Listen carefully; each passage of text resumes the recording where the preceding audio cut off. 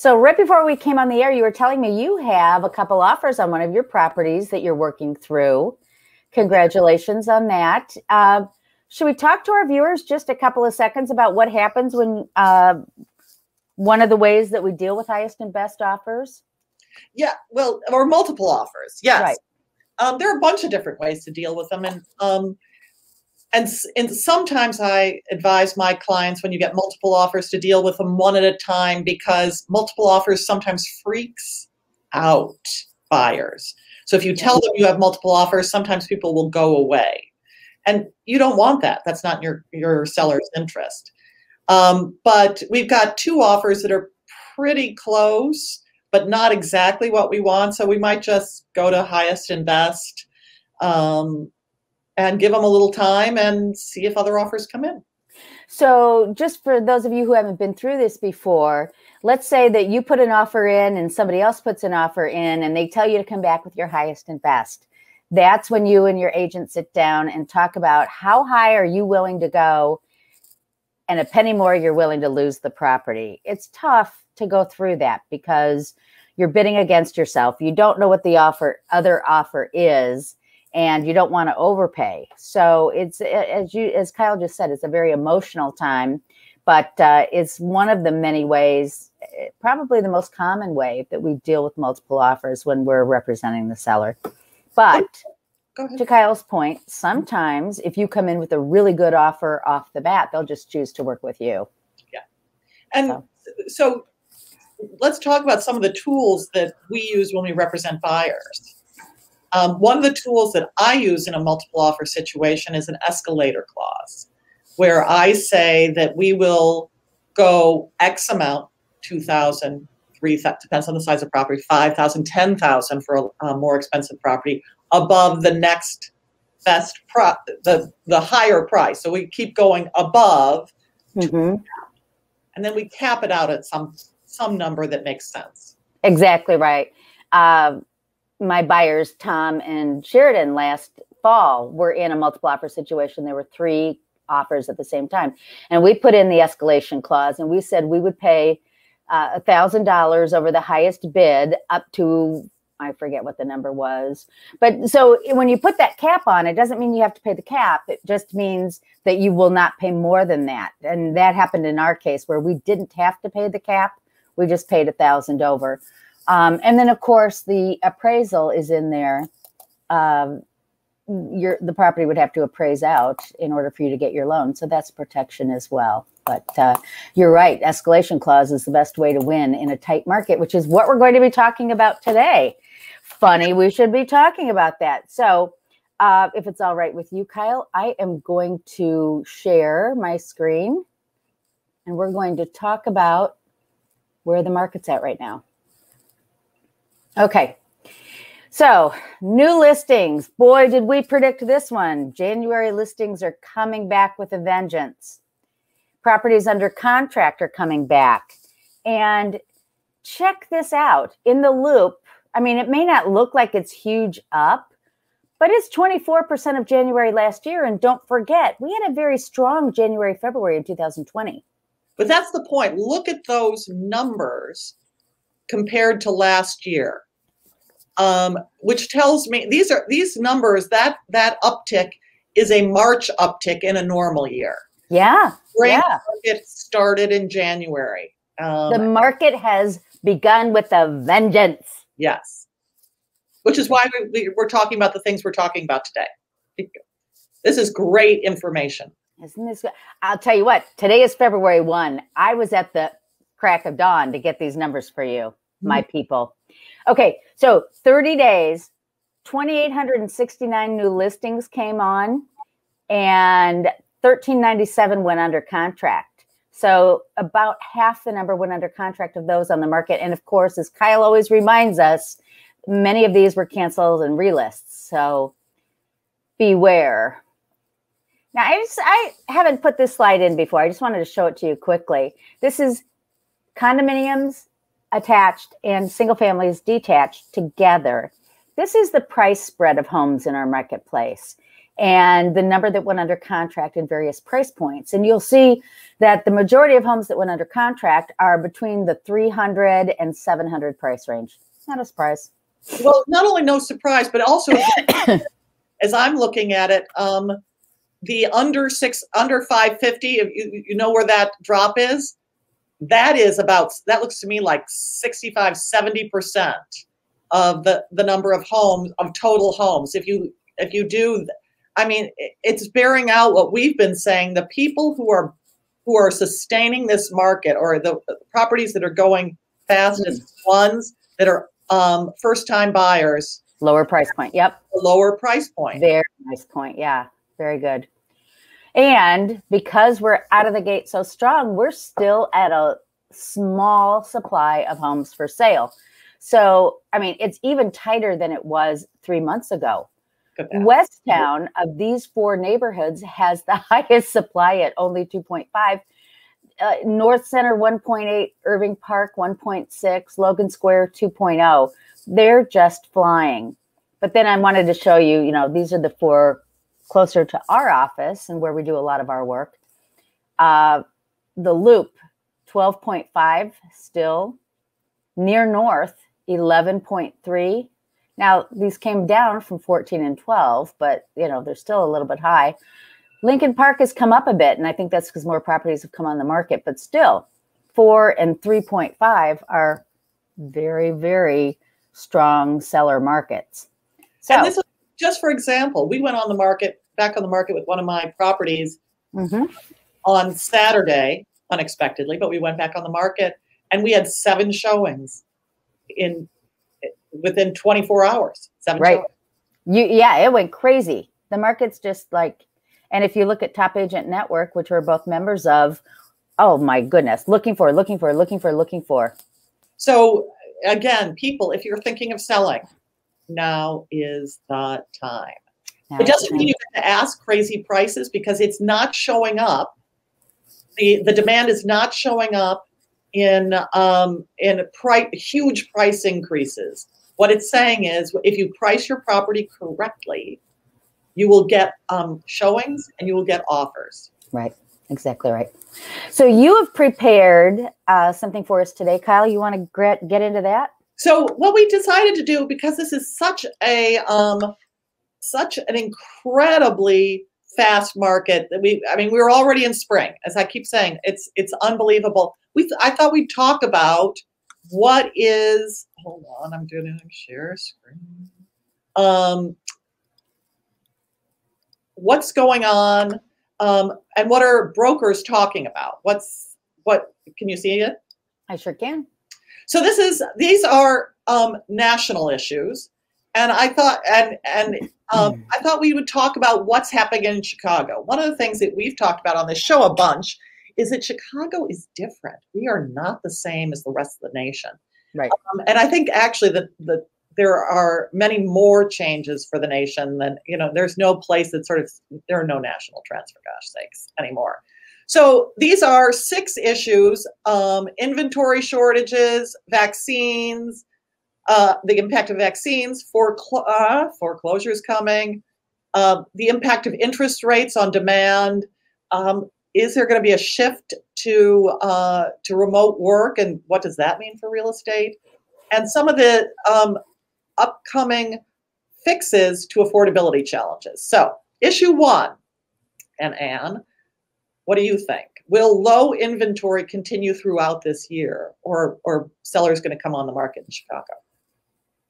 I think low inventory is going to continue throughout the year. Just how low, I don't know, but. Uh, we what we need are enough first time buyers to help the move up market so that we can you know people aren't going to put their properties on the market unless they have somewhere to go well this seems to be a trend across the country because 84% these um, these numbers this came from a survey by a firm that does um, referrals between brokers so they're very interested in what brokers think about everything and 84% of brokers surveyed said that they expect um, inventory uh, to be low, too low, uh, lower than they wanted to in 2021.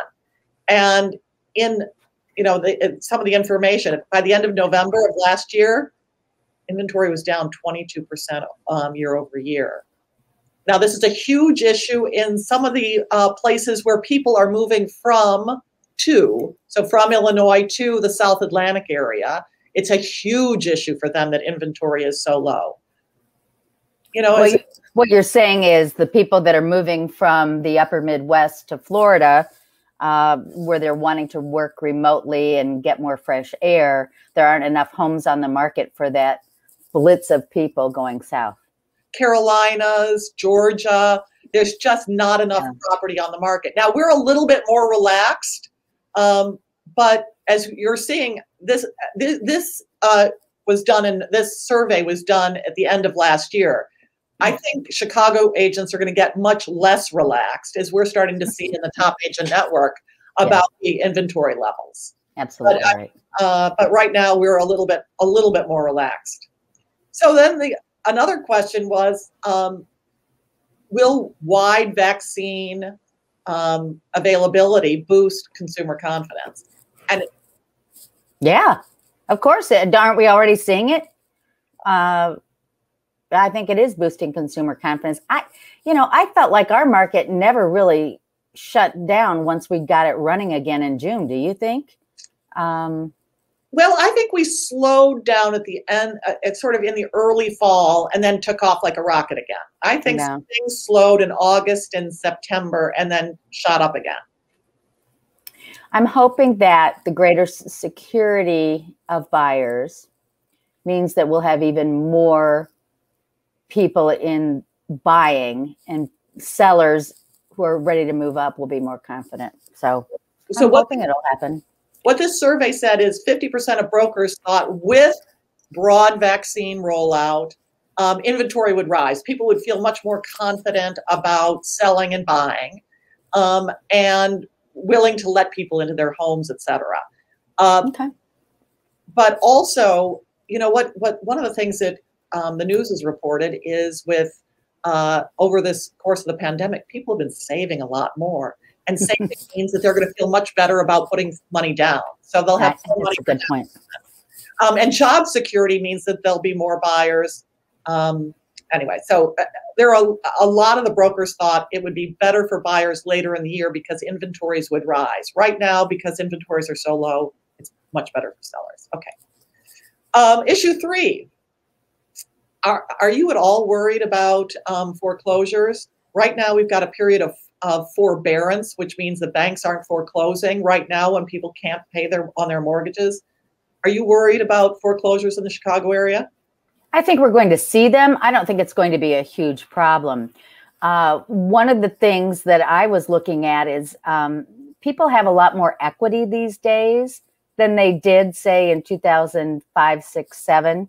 So we're going to see some, but I don't think it's going to be broad, broad scale problem.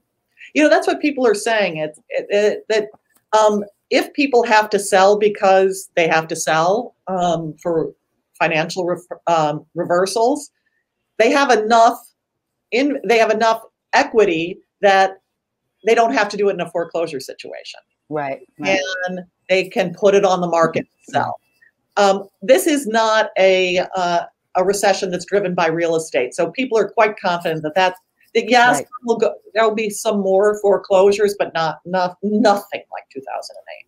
Right. Um, do you think uh, low mortgage rates are going to continue to drive demand? Absolutely. Absolutely. Yes, yes, yes.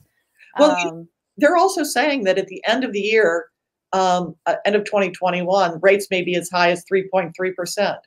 That is still so low. That is still so low. But you know what? Here, and I don't remember. Let me look through.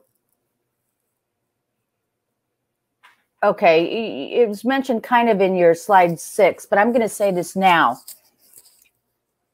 Right now is our best affordability, people. And in fact, we we may be a little bit not as affordable as we were even a month or two ago because here's the deal what impacts affordability interest rates, and home values.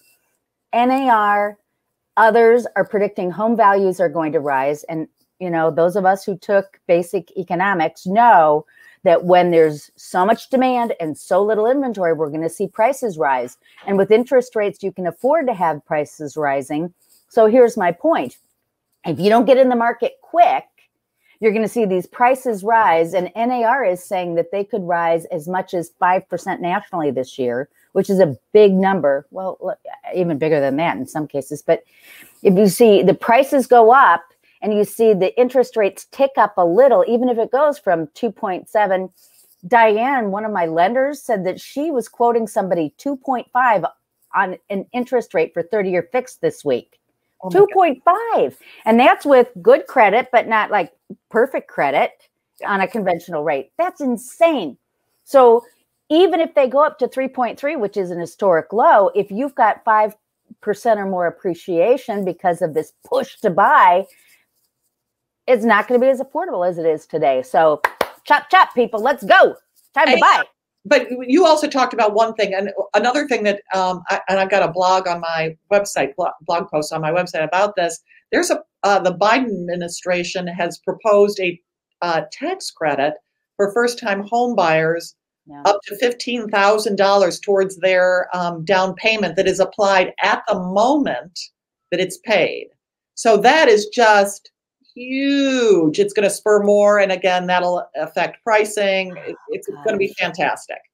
It will be. Well, yeah, yeah. Yeah. I think I think it's an artificial increase. I don't know that I'm in favor of that necessarily, but more that would help our market, sure. Sure help the market. So, issue 5, do you think the uh, shift to remote work is going to spur more moves or not? Yeah, Absolutely. And not necessarily just out of Chicago, but changing what a cool floor plan is. Everybody wants an extra bedroom or two for offices or and we're always already seeing it, aren't we, Kyle, with these new floor plans where they're having little workspaces they're right off the public areas. Um, it's gonna it, it's gonna shift how we live. It's gonna shift how we live. And it, to your point about the floor plans, I'm starting to see people um, calling closets home office. yeah. if it's a big office, and yeah. Yeah. Oh, yeah, there you go. All right, so that's those are and um, those are just some of the ideas, the, the things that we brokers are starting to talk about and plan for. The the main gist of all of this is it is a great stop sharing, a great year to buy and sell. Yeah, Golly, even in Chicago. Absolutely. I'm going to share just a couple quick slides. I'm not going to take too much of your time, but I want to show you this is what I was talking about earlier. So the first thing is year over year equity gains and what's happened to home prices across the country. Look at California, $34,000 year over year. And it's not just the uh, warm weather. Look at Alaska, 11,000 year over year. 14,000 in Florida, and Chicago's 6,000. So pretty good. Okay, home price forecasts. I was bobbling the numbers earlier. NAR says we're going to go up 6% this year, and they're not alone. Realtor.com 5.7, Freddie Mac 2.6. So even if you take the lowest, we're going to go up 2% in home values. Unemployment projections, they're projecting unemployment's going to decline. And here's the slide that I think is so fascinating. Cashing out, we talked about this earlier. In 2005, the average refi was taken 2638 out. 718 in 2017. 2007, 2408. 2019, 898. So people aren't taking that much money out. So uh, those are um, the billion dollars that the financial industry was pumping in to people's pockets during this time. At, at, with um, you know consumer demand. They they wanted to buy stuff and so they were using their homes as banks. Right. Look exactly. at now, now people are not doing that. They're they are respecting the equity in their home and wanting to maintain equity in their home. It's just incredible. It's it's you know almost a third of that of the earlier number it's on so that's why we're so confident that we're not going to have the foreclosure foreclosure crisis that we had back in the last recession. Absolutely right. Now I thought this last slide in the bottom right is fascinating. Um, 59 per, well, almost 60% of all homes have 60% equity. How about that? You know, Illinois has historically trailed in that number. Compare this is nationally has right. trailed in that number, but even now we're because there's been um, so little turnover of homes um, in Illinois in comparison to other markets that my guess is we're we're going to do much better. We we don't have the updated numbers though. Right. So well, I have a little top shop time to buy. Time to buy, time to sell. So I have um, also just for fun because you know one of the things I talk to all of my sellers about what sells fast and why. We study it. Anne and I study what is and and you're not going to be surprised by this, people. It's it's pricing mm-hmm. correctly. Um, sells fast. Um, so I have for you um, a property that I saw that went under contract in 14 days. Hold on, I'm trying to find share screen. Um, application window. There we go. sure. Um, can you see it? Okay. What sells fast and why? What sells fast and why? But I'm only showing you one property because I don't want to hit you. I don't want to be boring. Um, so it's it's my, what I like to call real estate porn. Um, this is this is what I look at when I look at um, the MLS. This is what sold. This I did this last night, but what sold over the last seven days in Lincoln Park in under 30 days. So it's 30 days on market. I think of as a fast sale, and these are the properties. And you'll see that, which is sort of tough, is that it tends to be the properties that are, you know, a little bit lower price. Now, Lincoln Park does not have a lot of lower price properties. If this were the Gold Coast, it would almost be almost 100% Sandburg. Um, Sandburg's um, Village has a lot of very reasonably priced condos. But um, I'm going to show you uh, 2503 North Green uh, view. We don't know the sale price yet because it's only went under contract, but it's priced at $2.75 million, which when you see the pictures, you're going to think, wow, that's really well priced. Oopsie, I've now made it bigger. Going back. That's it. So this is this house. It's on a corner lot. Um, it was on the market for just two weeks. It was new in 2015, and the and the owner paid 2.425 for it. It's got forty thousand dollars in taxes, a three-car garage, and a rooftop hot tub. Now, well, there you go. That's I, worth a million right there. Okay, how pretty is that?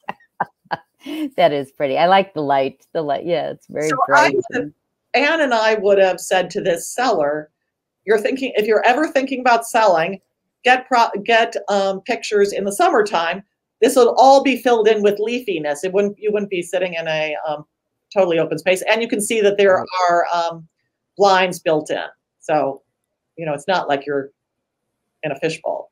But look at how cool some of this design is. This is the kitchen. The kitchen vanishes. It's such a pretty kitchen and dining area. Uh, this is the master bedroom. Oh, so pretty. You don't see that it, it goes back into, um, there's a bed back there, but that was not as pretty of a shot. So I'm only showing you the, hi, this is the master, this is the so pretty. Is that a fireplace to the left there? Yes. yes. And I think that fireplace goes into the, I think on the other side of that. The bedroom, yeah. Primary bedroom. Mm-hmm. I, this whole thing is a wine fridge. Oh, nice. Wine wall. Wine wall. Thing. Yeah and, t- and fireplace and jumbo TV. This is the downstairs. So nice. Very sleek. Look at that. Oh, yeah. So that's actually um, a staged image. But then again, wow. so well priced, beautifully um, or beautiful pictures that have it cleared out, depersonalized, looks beautiful, and then floor plans. This thing sold in two weeks. My guess is they had a ton of showings. That's lovely. Okay, stop share. Love it. Love it. So, you know what? It I'm always tickled when we um what do I want to say? When uh, our predictions come true. And we've been saying we've been saying the market's tight. Now's the time to buy, and uh, it's coming true.